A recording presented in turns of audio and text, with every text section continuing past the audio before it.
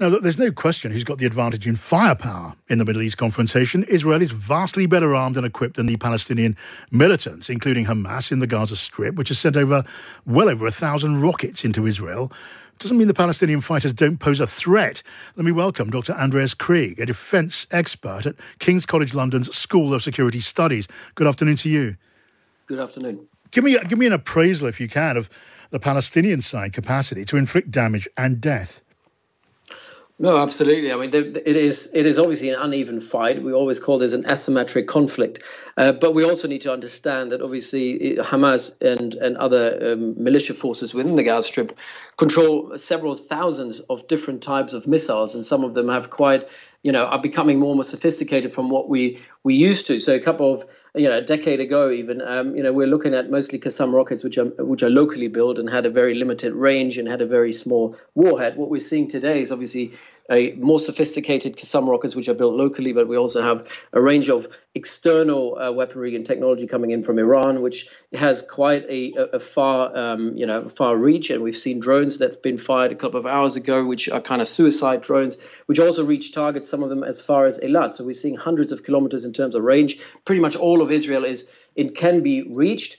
Um, and obviously, there's one other thing. I mean, this is it's not just quality, but it's also quantity. So Hamas has quite a lot of quantity of missiles that they can fire at Israel and do so um, at long range, and obviously have quite a lot of technology to uh, fight at Israeli uh, troops on the ground in close range. Yes, and, Israel has its Iron Dome defense system, a kind of radar-controlled shield in the sky, which gets the overwhelming majority, catches the overwhelming number of these rockets, but it can't catch all of them. There is still a danger. Tell, tell me, Andreas, what happens if and when it comes to ground fighting, if those tanks and troop carriers mm. cross the border into Gaza?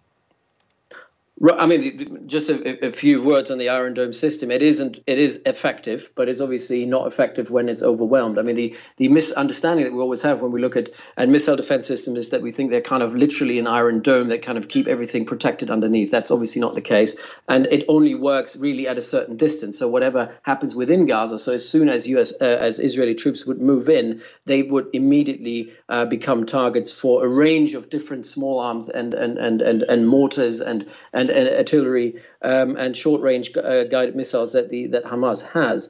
Um, the problem of that is obviously, and that is one of kind of the, the the worst case scenario that Israel always wants to avoid. They wanted to avoid it in 2014, but at, at that time in 2014, you had uh, three Israeli uh, kids being kidnapped, and obviously for that, you know, the Israelis were willing to pay quite a high price to get them back. Um, we don't have that situation now. Um, we are in a situation of of, of, of a worst type scenario of urban combat, very densely populated areas um, where you know Israeli even special forces who are well trained in combat forces that have now been mobilized um, will find it very very difficult to operate in because the enemy is waiting everywhere and it can appear from from anywhere. There are tunnels underneath the city, yeah. um, and even if you go in with armored vehicles, these armored vehicles can be pierced. So it's not really a, a kind of scenario where you want to go in in order to seize any objectives. Andreas Krieg uh, from King's College London School of Security Studies. Thank you for for giving us that expert uh, take on what is happening and what may yet happen.